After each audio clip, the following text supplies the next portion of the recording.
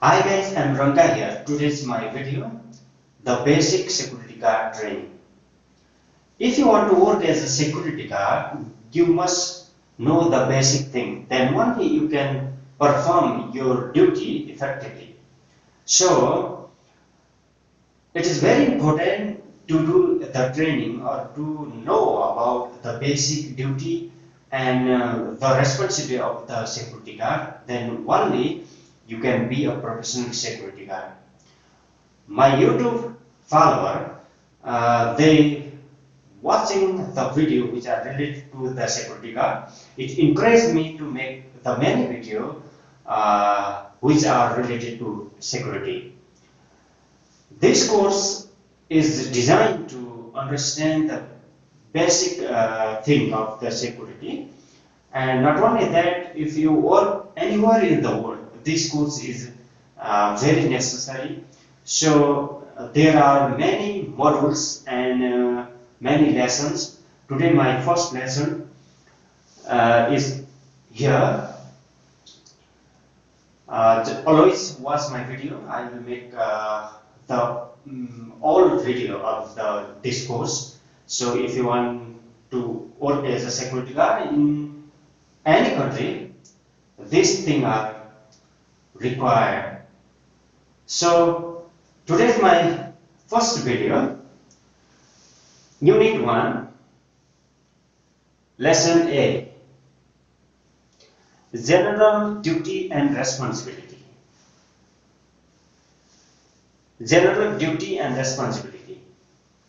Okay, Unit 1, Lesson A, General Duty and Responsibility. Security guard has many duty and he has, the security guard also has responsibility, many responsibility.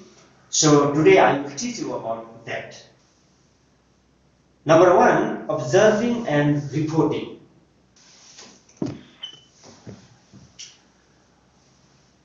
Okay, observing is seeing, right?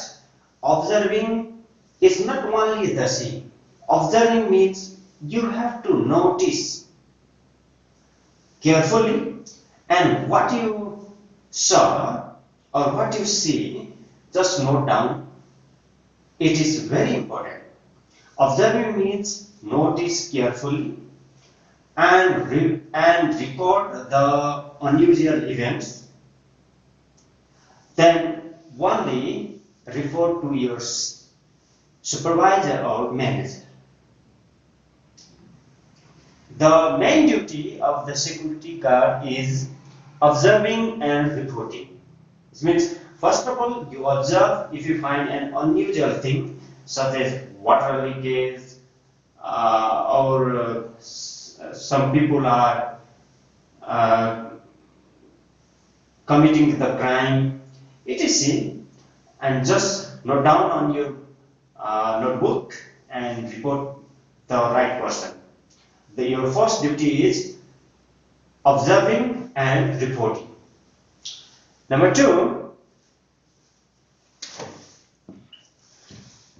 deterring and detecting crime. What is deterring and what is detecting? Deterring means stop and detecting means notice. Okay? The second duty of the security guard is deterring the crime. How the security guard deter the crime?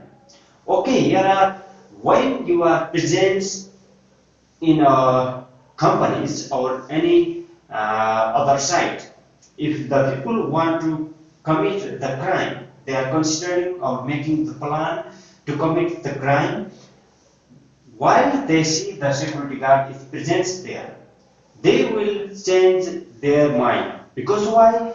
There is security, he can inform the police or he can inform uh, to the other people, the public.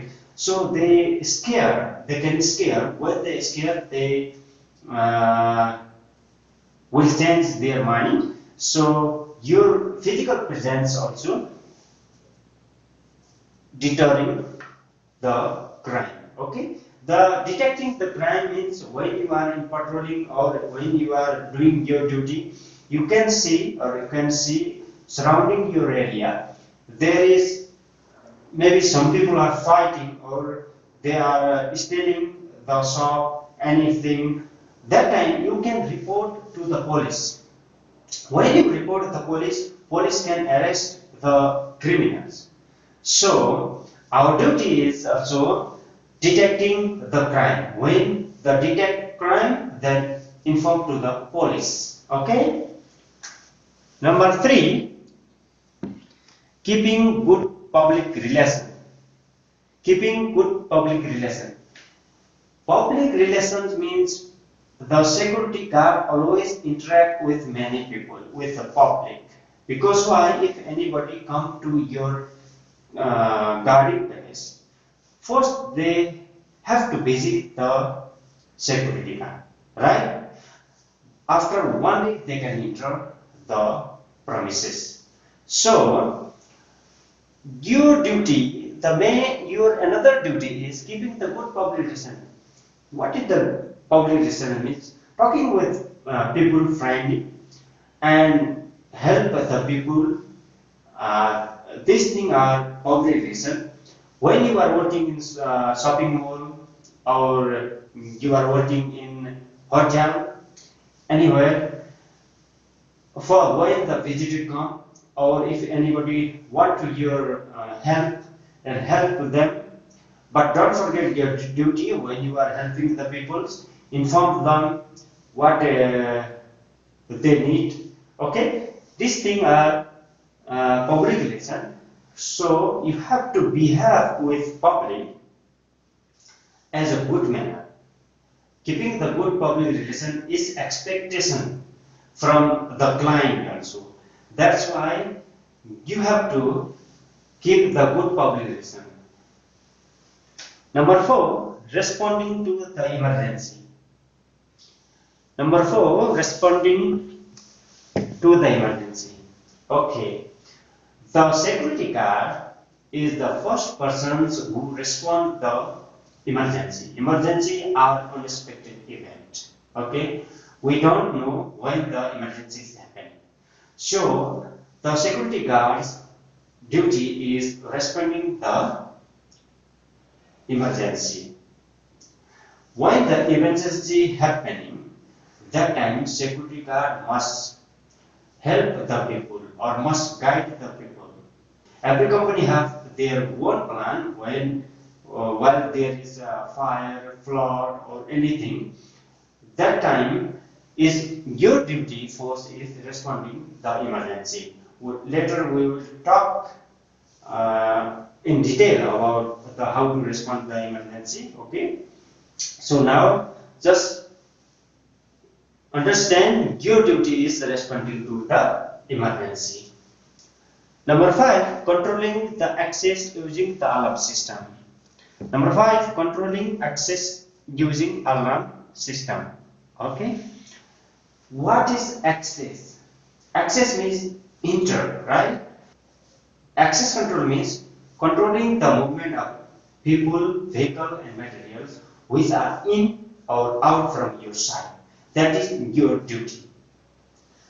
The another thing is alarm system. Using the alarm, you must know how to use the alarm system or the other surveillance system, such as CCTV.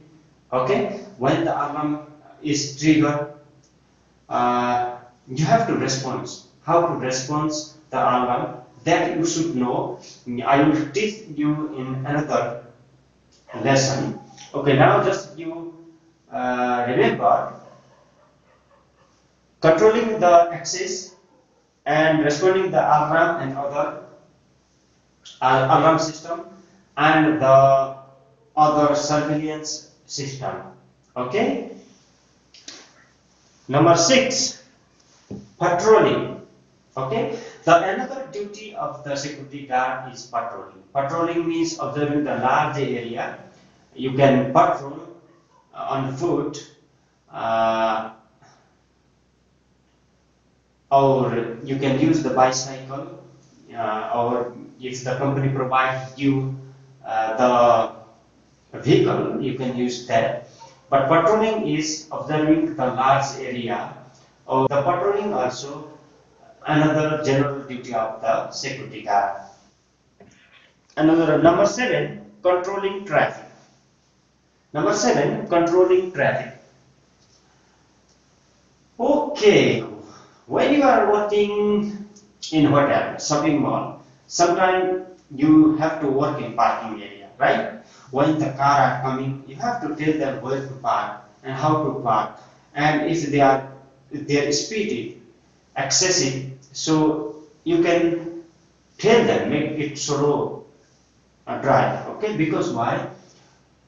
Some place or some, some place or some post uh, you are directly controlling the traffic, but if in case of emergency, that time you may be or security guard may be asked to uh, help the police in the public area.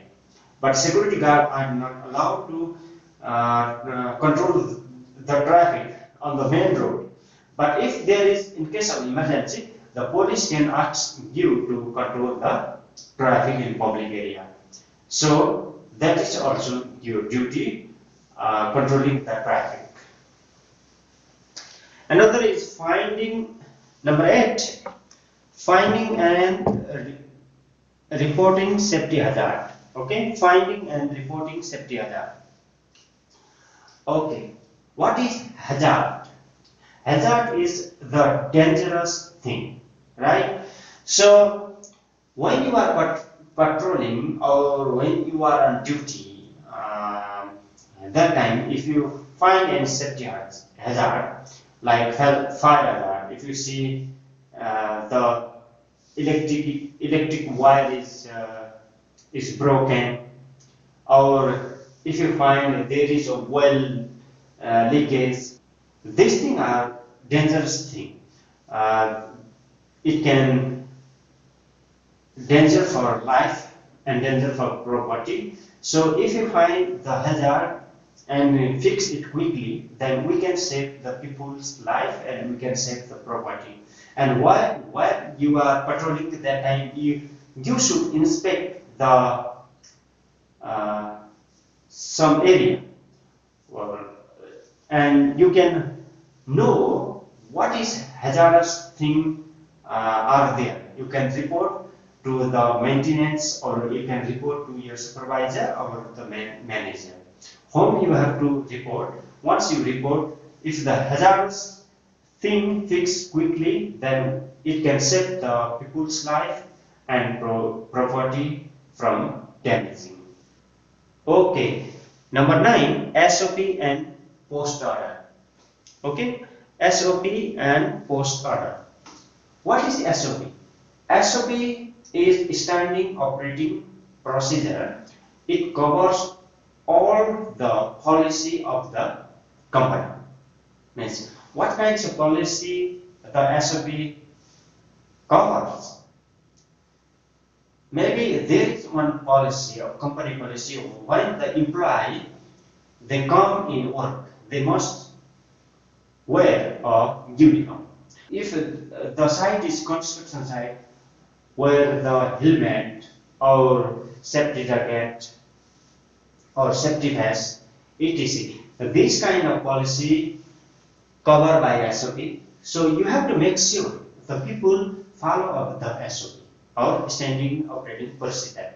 So this is the uh, duty of the security guard to make the people follow the SOP, standing operating procedure.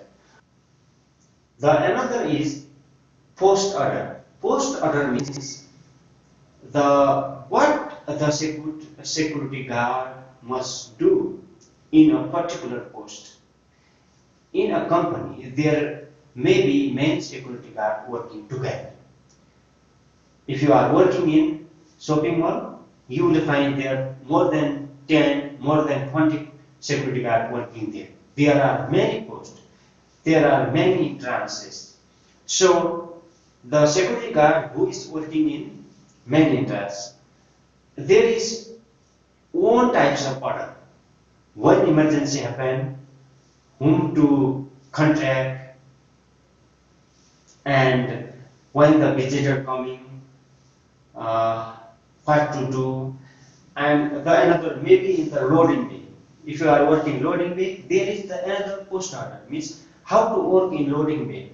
There is the another uh, post order, and if you are working many drums, there is another post order. Post order means what you have to do in the post. The particular post it is different post by post. It is not like a SOP. Okay, so uh, when you are working in in loading bay, okay, first of all you have to check what you have to check the delivery or when the item is uh, going outside from the loading bay. You have to check that. When you are working in uh, visitor entrance, you don't need to check the uh, drop or items or anything, right? You must record the visitor who are in and who are exiting. That's why what you have to do in the particular post, there is one types of memo or the post order. It is called the post order or standing order. These nine points are general duty of the security guard. Observing and reporting, number one. Number two, deterring and detecting crime. Number three, keeping good public relation. Uh, number four, responding to emergencies. Number five, controlling access and using alarm system and other surveillance systems. Number six, patrolling. Number seven, controlling the traffic. Number eight, finding and reporting safety hazard and report. And number nine, SOP, standing operating procedure and post order. Okay, now we finish the general duties. Okay,